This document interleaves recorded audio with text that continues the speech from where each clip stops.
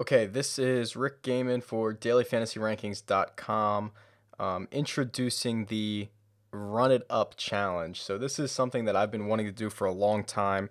It goes back to, I know a lot of daily, daily fantasy players have also played poker at some point um, when online poker was thriving. And basically, this goes back to those days.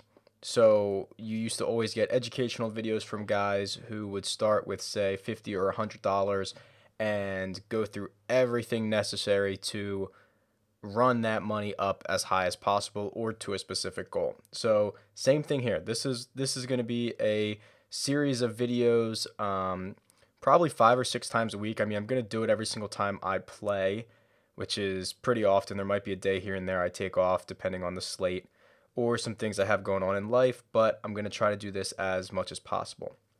Um, so I'm going to walk through everything that goes through my mind when when trying to do this. Um, obviously, bankroll management is the number one thing.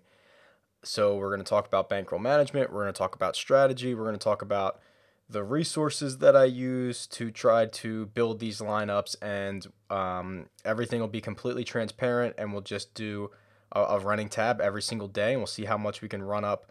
We'll start with hundred dollars and see how much we can run it up. Um, I don't have a set goal in mind. I mean, if we went 20 times and went to 2,000, uh, you know, maybe we stop there, maybe we keep going. Who knows? So this could be, you know, this is an open-ended type of challenge, and and we'll see where it goes. So I don't want the first video to be too long because I'll touch on a lot of things um, as we go. But to to me, there's really only two rules that I'm going to go by for this challenge, and the first one is strict bankroll management.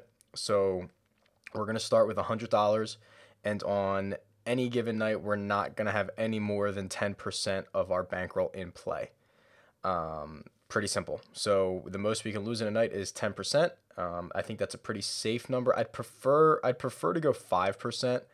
Um, but with the size of the games on um, on DraftKings, which is where we'll be doing this, it's it's not great. So that's that's rule number one is we're going to do 10% a night. Rule number two is that we're going to only do one lineup, and I'm a big believer in this.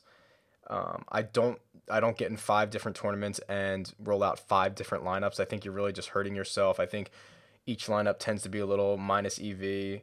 Um, so I would really prefer to just keep the one lineup rolling. So that's what we're gonna do. Um, I'll, I'll talk more in depth about this, but creating one lineup, your favorite lineup, really makes you make the tough decisions. It makes you pick between guys like Anthony Davis and LeBron James, and um, you know stuff like that all the way down. You have to make the best decision for your lineup in every spot. So that's why I like to do it. So it's uh, let's get to it. It's an NBA night. Um, it is two o'clock here on the East Coast. So these games don't start till seven. Now, with the way the NBA is, I won't really start making lineups or finalizing finalizing lineups until the hour before just because so much news comes out with injuries. So let's start there. Um, Rotoworld is probably the first place I'm going to go on on any given day when I you know sit down to do my research. I'm just going to roll through the news section and see what's going on.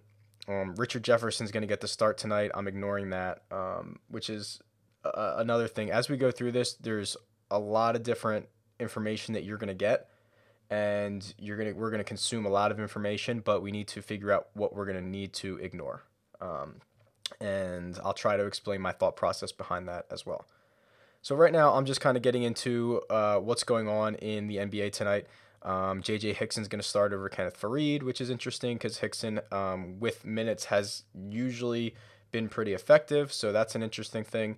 Um, and I'm just trying to get a sense for what's going around, what's going on around the league, who's playing, who's not playing, who might be questionable. Wilson Chandler, who's a guy I like a lot.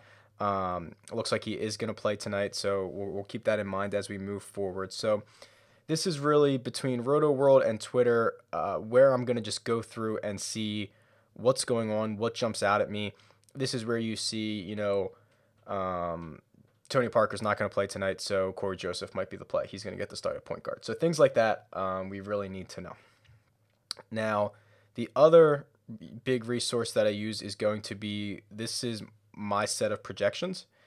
it's nothing too in depth. They're they're pretty simple. Um, it just takes into account how well a player plays per possession, and then how many possessions and minutes I think they're going to play that night, and comes up with a projection and a final score. So this line, this column right here, uh, the bingo column is basically the amount of points that I project for them.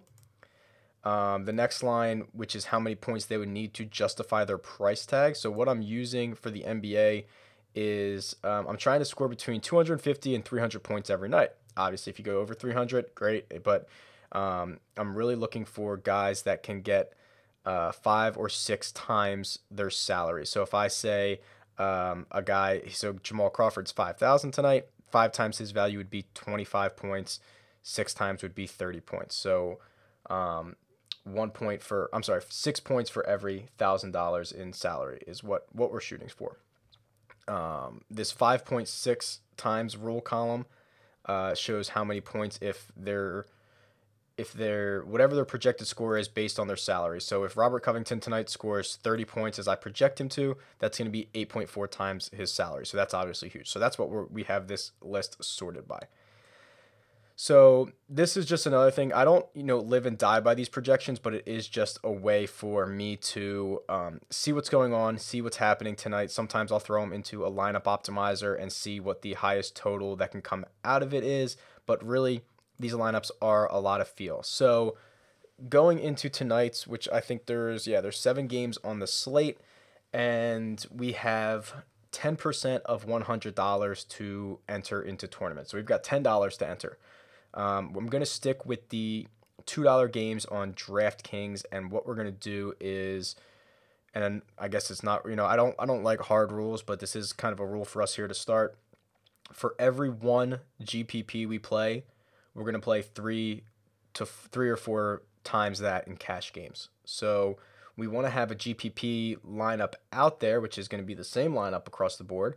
So we want to have an, a, a shot to win big money in a GPP but um, it, it's not great bankroll management because they there are so many players in them to just go strictly in GPPs. So what we'll do on the first night is we will play one $2 GPP and four $2 50 50s or heads up, which will uh, be our $10. So um, the the GP or the cash games is kind of what keeps us afloat, and we will grind out a little bit of profit and the GPP is your is your lottery ticket if you come up with that lineup of the night um, and jump your bankroll. So, uh, you know, I like to have a, a good mix of them because if I see so many guys who just play 50-50s or just play heads ups and they drop a, a 330 or a huge score and you know they won 25 bucks because they didn't have it in any GPPs and that can really mess with your mind. So we're gonna have a shot. It's at a big number every night, um,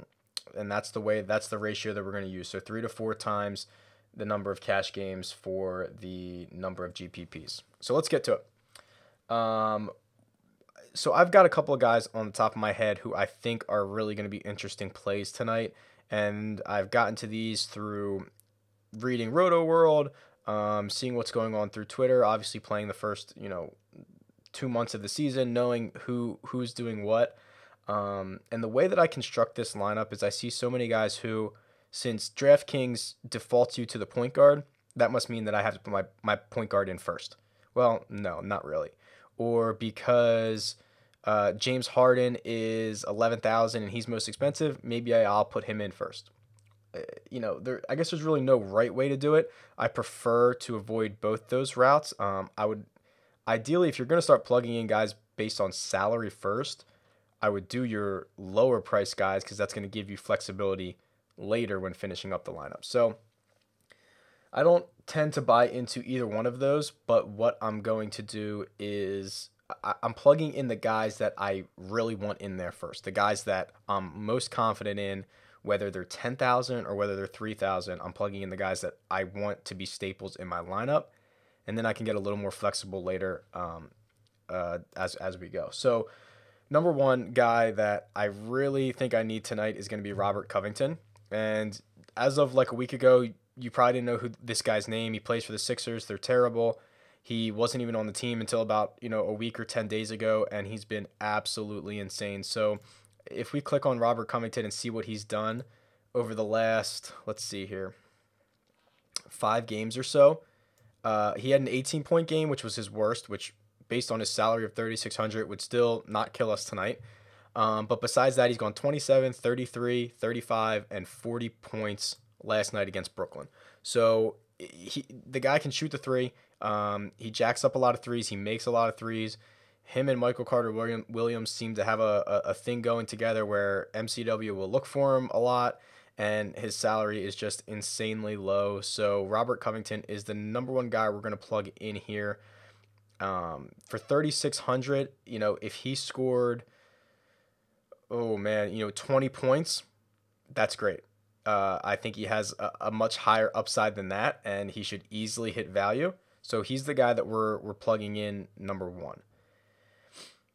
Okay, so let's move along here, and I know another guy that um, has been really interesting lately is uh, Patrick Beverley, who Bevs was hurt uh, last week, I believe let's see. Yeah, he missed the games from the 22nd to the 6th. So he's been hurt a lot, so his his price declines, but if you look at this, he's playing 40 minutes a night the last two nights. Like that's insane. And anytime you get a guy who's going to be out there for 40 minutes, you you really like it and he's been producing. So, I mean in the, in the last 4 he hasn't done worse than 33 points. He's a, a really solid play tonight um, for his price. Again, we're just looking for 25 to 30 points, which he's blown away each of the past few nights. Now, what you'll see me lean towards is since we're only doing one lineup, I'm looking for guys that have high floors. Um, you may not win a GPP like this. I mean, obviously you can you can always win a GPP like this, but I would rather a guy who is going to score between 25 and 35 every night than a guy who's going to score between 15 and 50. It's just when when you're pumping out one lineup, I want the best chance to to make money to grind it away.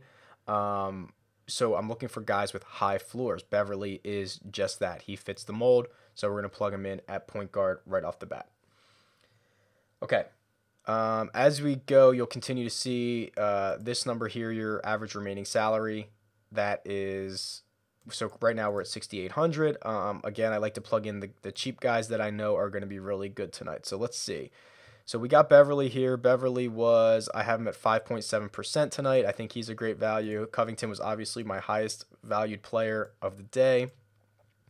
Um, scrolling through these solomon hill is a guy who is that um, low floor high ceiling guy. So if we click him just show you this real quickly um, so here's the last four games 29, 8, 25, 18.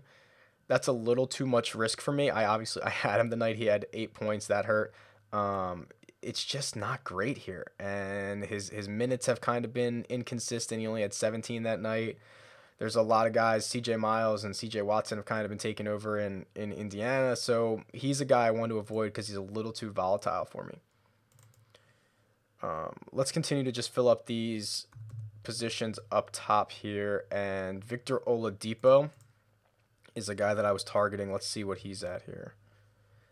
So he's a little further down my list. Um, Oladipo, I have him at 4.7% tonight. I have him for just under 30 points. I mean, literally almost 30 points exactly. Um, but there's something about that where he's just been like I like I said, I don't live and die by these. So he's been playing a lot better recently. So if we click click his game logs, um, again, the last four nights he's been over 27 points. He's been in the 30s. He had a game of, of 18, but then 43. So, you know, he is a little more volatile, but I mean, look at these. He's he's basically 25 to 35 every night and you know what you're going to get from him. If we get 30 points, it's not quite 5 per, or 5 times value. Um, but anything over that would be pretty good. So 30 points is what we're looking for out of Oladipo tonight. Um, he's playing a lot of minutes. He played 34 minutes last night. I this is the this is a back to back home home and home. So Atlanta they played at Atlanta last night, at home versus the Hawks tonight. So I think he can kind of feast on that a little bit. He can he's he's very familiar with them. Obviously they just played last night and his salary did not go up. So I think Oladipo is a really safe play. He's a young guy where I'm not afraid to use him on um, the second night of a back to back. Okay, let's continue to roll through. Um, if we continue to check my projections here, some of these guys I'm not willing to roster. Tony Wroten, who's just back from injury, isn't seeing a lot of minutes now. There's a lot of guards in Philly. Um, not willing to roster him. Chris, Chris Copeland has kind of fallen off lately. JJ Hickson is interesting. Really like JJ Hickson, so he projects out 5.7% or I'm sorry, 5.7 times. And if we if you remember when we saw in Roto World, it looks like Hickson's going to start again and Faried is going to come off the bench. So this is interesting. Let's look at JJ Hickson, who I've rostered a bunch of times this season. I really like him. Um, so let's look at his game logs here. To me, he is more of a solid NBA player than he is a daily fantasy player. Um, a guy who gets 23 minutes, which is probably around his max. I can't imagine he's going to get many more than that, even starting. Um, he's liable to score you 15 points. And at his price range, if you need to go five times, you need to get over 20, which he's done before. It's just not, it just hasn't been that consistent lately. I really like the guy. I think he's a, a big time energy guy, but better real life basketball player than fantasy basketball player. So we're not going to go with JJ Hickson tonight. Um, I said I love guys with minutes. So n- no one over the past couple weeks has played more than Darren Collison. 42 points against Houston two nights ago. I'm sorry, 42 minutes, 38 minutes, 32 minutes. I mean, this guy is a minutes machine, and he's really been producing. So you see, he's cracked uh, 40 what's that five times in his last 10 games so he's liable to go off and, and fill up the stat sheet for you at 6500 we probably only need you know over 30 points a, a couple over 30 points and he's done that basically seven out of the last 10 games so he, he's pretty consistent he has a pretty high floor i'm confident in darren collison i plug him in into our guard spot okay let's uh let's round out the small forward here while we're going at it. And none of these guys really jump out at me.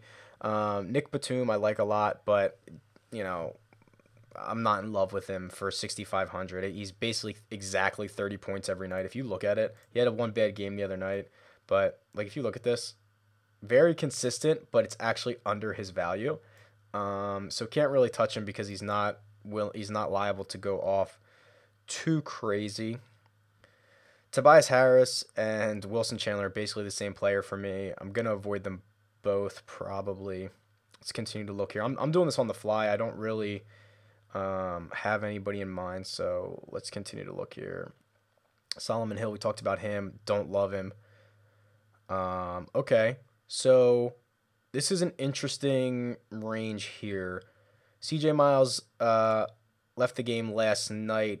Don't know what he's probably not going to play here let's see. Should be back on the court soon, possibly Saturday. I'm not in love with it. Um, last night was the first night that he actually started, so there's a lot of question marks with CJ Miles. A little too risky for me. Here's a guy, Luc Mbah a Moute. So I'm a Philly guy, unfortunately, but when you watch this, he's pretty good. So Mbah a Moute has been starting, and let's look at his game logs recently. Okay, so played 33 minutes last night at Brooklyn, so that's a good sign. He's still playing a lot of minutes.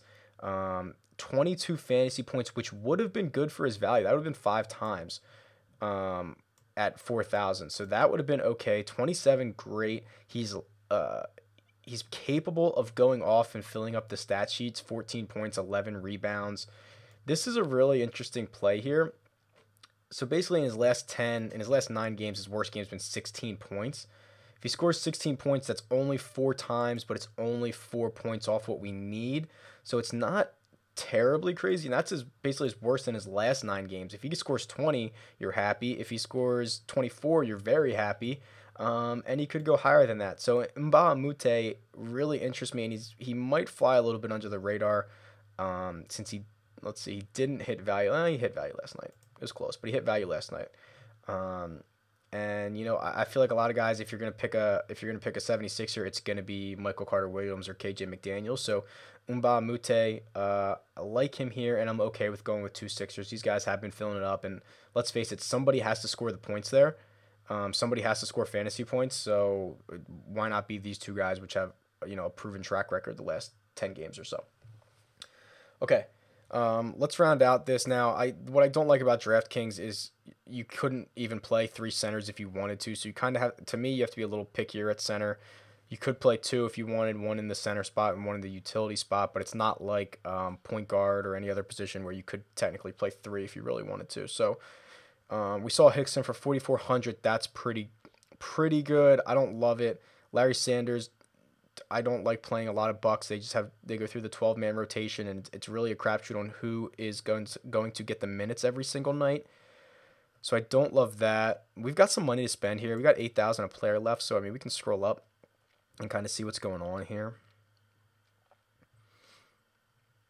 And again, I'm doing this as we go. Al Horford, like him as a as an NBA player, don't love him as a fantasy guy.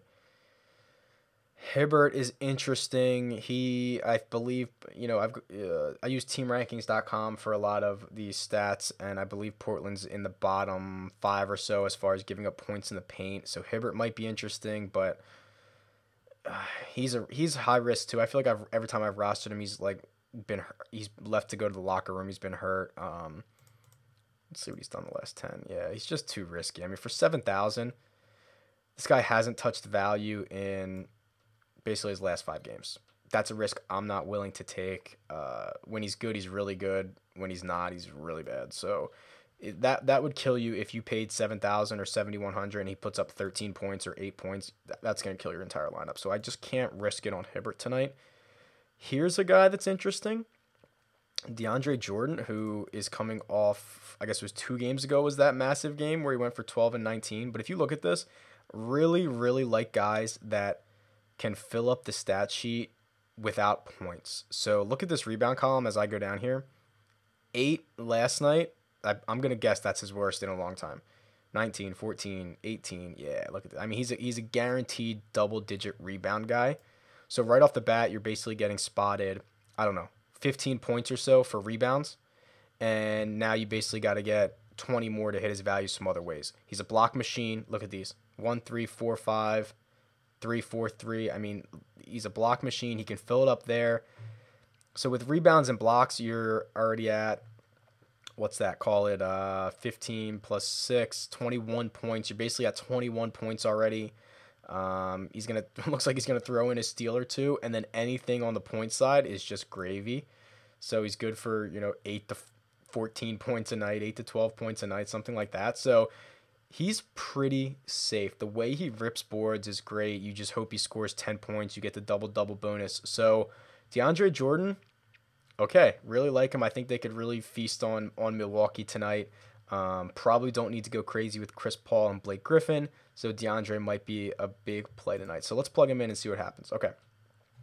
So there we go. We've got two spots to go. We've got 85 50 left. So now we can kind of get into some really good stars. So we've filled out this roster with um, some really solid players that I think are going to hit value. We can now kind of pay up for some stars. Now, my mentality so there's different there's a lot of different strategies here some guys like to you know put lebron james and anthony davis in the same lineup and stack a bunch of 3000 guys with them or something like that that's not me. I'd prefer a lot of the, you know, eight of these middle tiered players. Again, all I'm looking for is who's going to hit value, who's going to get five or six times.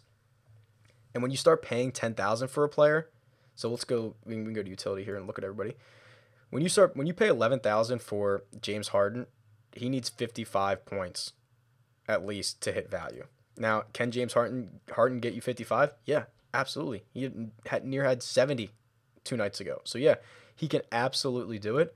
But even on these nights where he goes and scores you 40 points, which sounds great, not even close to value. 35, that would kill your lineup because you're you know you're basically 20 points off what you needed from him. So yes, he's completely liable to go crazy. And geez, oh man, looking at this, it really it really makes me wet my whistle and wanting to play him. Just how really how good he's been. but it's just such a big risk.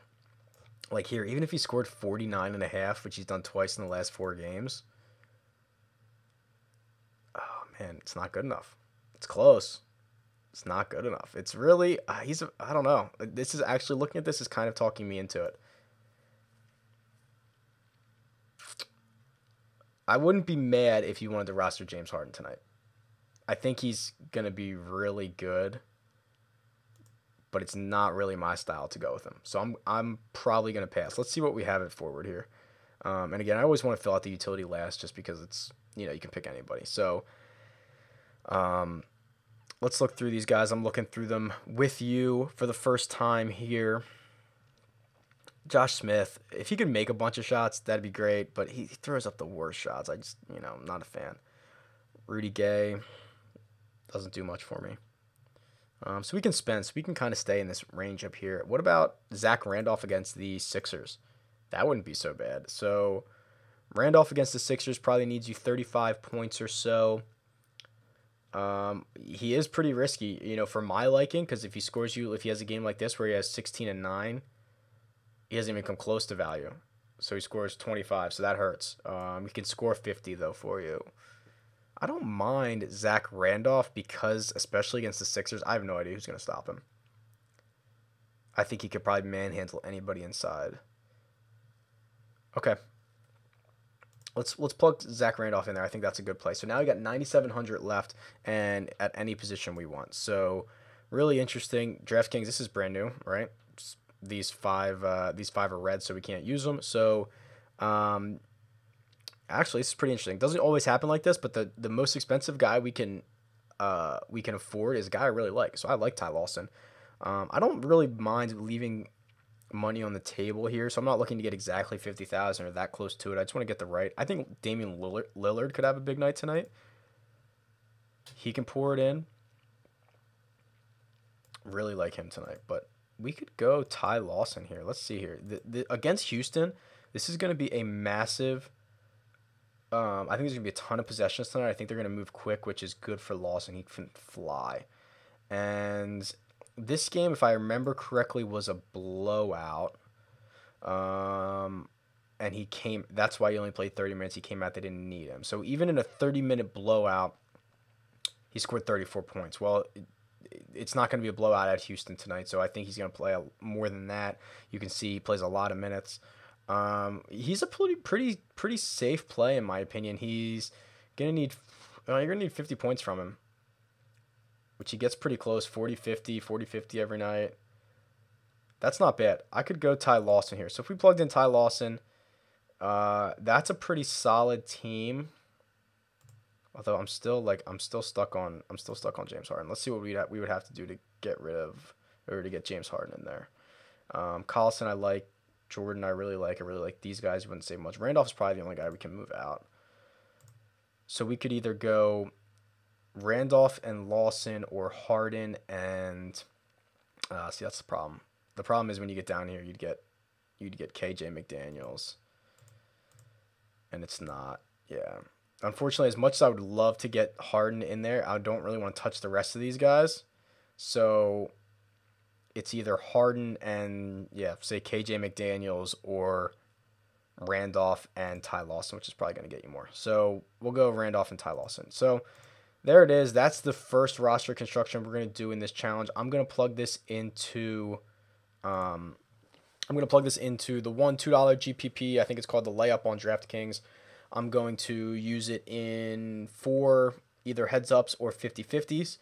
Um, this might not be the exact lineup. I really like this lineup a lot, but as I've said with the NBA, you really want to, um, as you get closer to game time and you see if there's any game time decisions, if anybody tweaks their ankle in warmups, there might be an opportunity there. But this is a pretty solid lineup that I'm going to roll out and feel comfortable with um, doing it. So keep an eye on it. Uh, tomorrow, what I'll do is I will um, start showing, you know, I'll have all the stats. So how much we won, how much we lost, how that's going to change what's happening. We'll look back at this lineup and see how it did. I'm going to try to keep these relatively short um, but they might get a little longer as we go, as we've got to do some roster review I'll get a lot more into strategy and research as opposed to just plugging in the lineups. But um, if you have any questions, comments, uh, would like to see specific things, shoot me a comment here at the bottom of this post, or uh, you can find me on Twitter. It's the DF Rankings.